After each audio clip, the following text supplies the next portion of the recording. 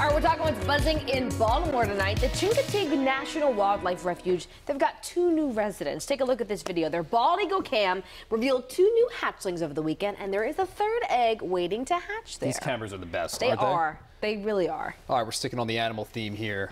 So, Maryland Department of Natural Resources workers found this unique fish in the Chesapeake watersh watershed. They were fishing for blue catfish in Hunting Creek and came across a striped mullet. I think that's how you say it, mullet. Even though it is a coastal fish, it is not normally found here. It is normally found in the south. All right, we are talking Ravens. At least the Ravens, they're looking for teachers who go above and beyond for the seventh annual Touchdown for Teachers program. We got program. plenty of them. Yes, we do. Okay, three finalists will be selected, including a winner. That person will get $4,000 for their school and, of course, a classroom visit by a Ravens coach or player along with mascot Poe.